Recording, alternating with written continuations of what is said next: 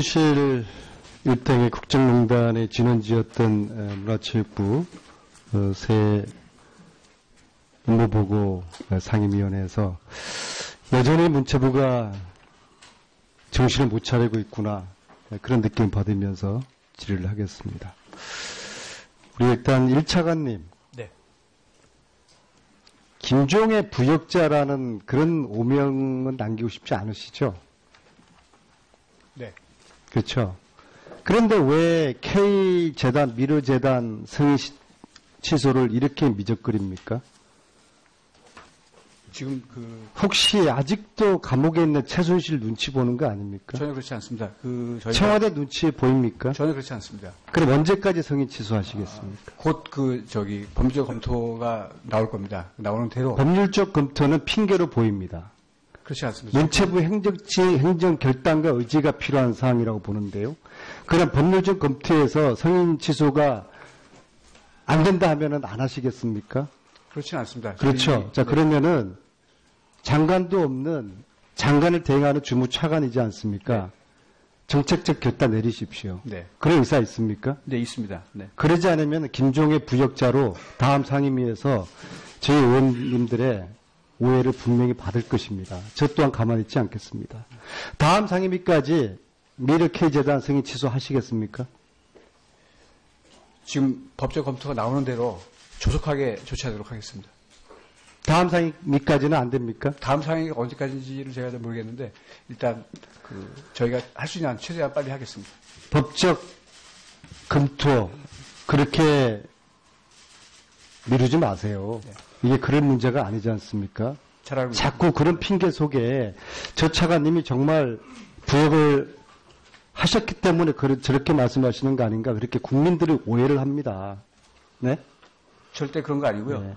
어, 저희가 그, 그 법률 검토 미루지 마. 그렇게 핑계 내지 말, 말, 마라 이 말씀입니까? 이, 이겁니다. 언제 그러면 변호사들이 법률 검토 통해 가지고 K미래 스포츠 승인해도 좋다 해서 하루 만에 졸속으로 승인해 줬습니까? 저희가 정당한 절차를 어차피 부실로 잘못되게 이제 끼어진 거 아닙니까? 그럼 정책적으로 잘못할, 잘못한 부분을 과감하게 제일 처음에 하시자, 오- 오시자마자 그걸 하셔야 되는 겁니다. 그런데 아직도 두 달도 넘었지 않습니까? 아직도 법률 자문 검토 논하는 거는 저는 차관님이 김종의 부역자라는 것을 스스로가 자인하는 오해를 받는 그런, 그런 말입니다. 전혀 그런 거 다른. 이유는 몰라도 네. 법률 자문 그 핑계는 대지 마세요. 아시겠습니까? 알겠습니다. 네. 자, 김종의 체육농단으로 어, 많은 사람들이 찍힘을 당했고 또한 어, 꽂혀서 부역을 했습니다. 본 의원이 김종의 체육농단 리스트를 부역한 자와 찍어내린 자 20명, 20명씩을 정했습니다. 오늘 이걸 공개할까 하다가 마지막 기회를 드리겠습니다. 왜 김종에게 부역한 사람들이 아직도 버전이 활개치고 있습니까? 이러면 안 되는 거 아니겠습니까?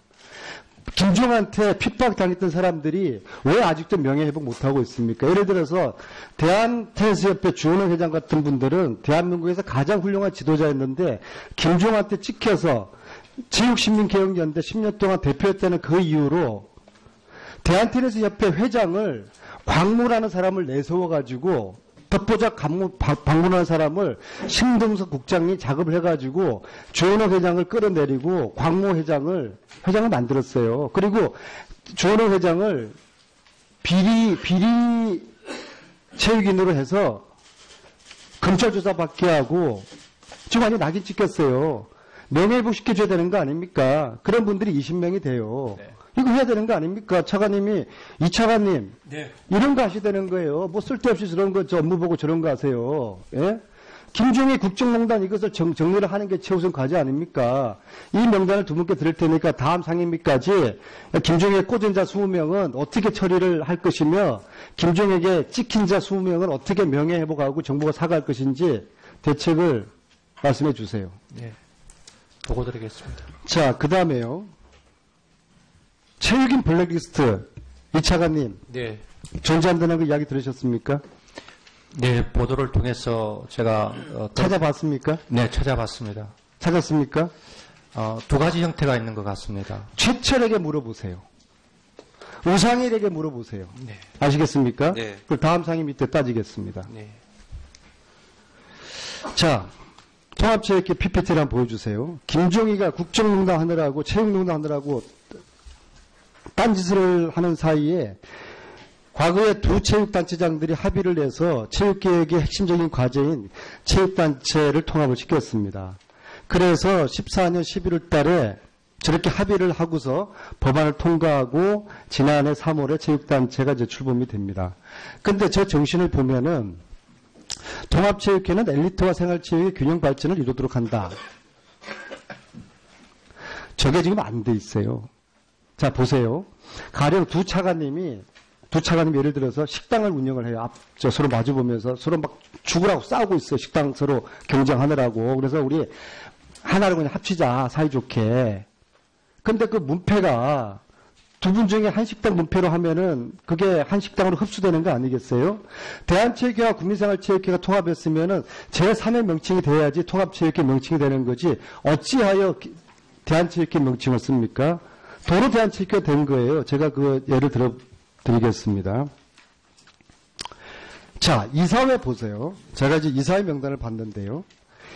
이게 말이에요. 이사회 명단이 순이게 비개혁적이고 반개혁적인 인사, 진짜 제대로 어떤 체육의 시스템을 바로 잡을 수 있는 개혁적인 인사들은 씻고 볼 수가 거의 없어요. 왜 이렇게 됐는지 저는 이게 참으로 의아합니다.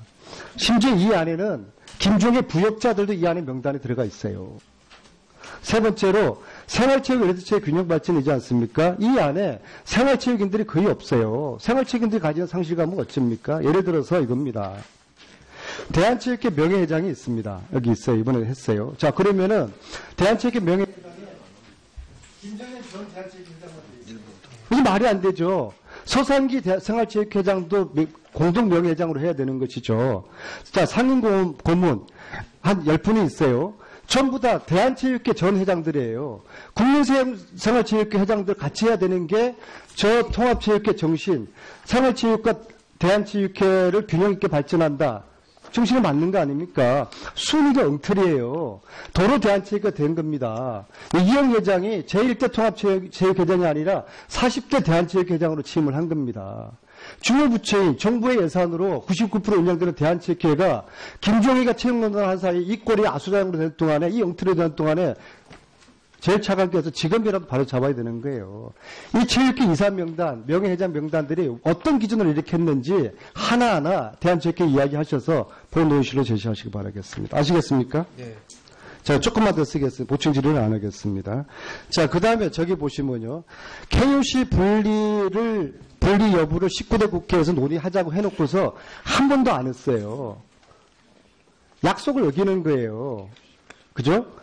왜? 김종희가 다른 짓 하느라고, 최순실 부역하느라고 저 약속을 안 지킨 겁니다. 이 정부가 끝나기 전에 지금이라도 제2차관께서 약속했다는 저 논의를 지켜야 되지 않겠습니까? 국회 약속이고 양단체 체육인들에게 약속이에요. 잘 검토해 주시기 바라겠습니다. 네. KUC 분리 관련한 법안을 본의원이 제출하도록 할 테니까 이제 논의를 시작을 해야 됩니다. 저는 여기 찬반 논란이 있지만은 약속을 했기 때문에 법안을 제출을 하겠다는 제 그런 말씀을 드리겠습니다. 무엇보다도 대한체육회 명칭이 도로 대한체육회가 됨으로써 통합의 정신이 훼손돼 버렸다 이겁니다. 그래서 제3의 명칭을 3월 27일이 통합체육회 출범 1주년 되는 날입니다. 그때까지 제3의 명칭을 만들어서 통합체육회의 취재 만든 새로운 명칭을 만드는 겁니다. 네. 민정하고 오보는 왜 3년이 지나도록 아직도 들어오지 않습니까? 미국이 준다고 그랬는데 왜 못 가지고 옵니까? 그 미국의 절차, 수사 절차 다 거쳐 오는데 미국 내부에서도 이견이 있어가지고 건 1년을 끌었습니다. 그리고 이제 벌석 재판까지 지난 1월 30일까지 다 끝났습니다. 이제 그 조만간 들어옵니까? 마지막 이제 선고가 남아 있고요. 그 다음에 이제 돌려오는 날짜나 이런 거가 양국이 이거는 문화 주권에 관련된 문제입니다. 네. 만약에 미국의 문화재가 네. 에, 우리 에, 우리가 미국에서 가지고 약탈 문화재가 서울에 있었고 미국인들하고 우리하고 돌려주기 약속했는데 3년에 걸린다. 대한민국 언론들이 왜 미국에 안 돌려주냐고 가만히 있지 않을 겁니다. 창피한 거 아니겠습니까? 예. 자, 이차관님 네. 김종 최순실이가 엉클어 놓은 평창올림픽을 저는 평화올림픽으로 했으면 좋겠습니다.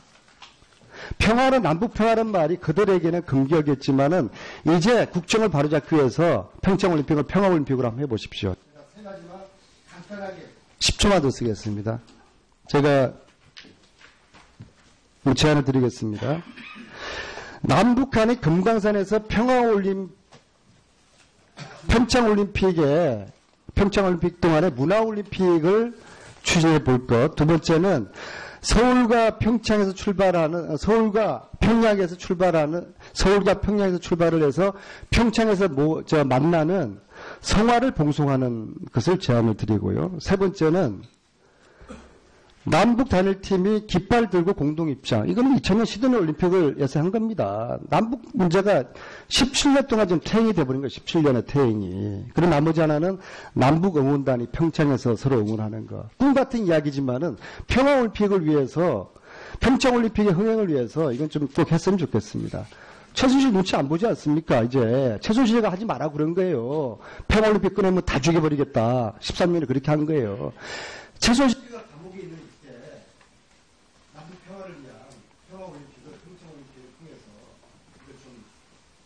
안될지안될지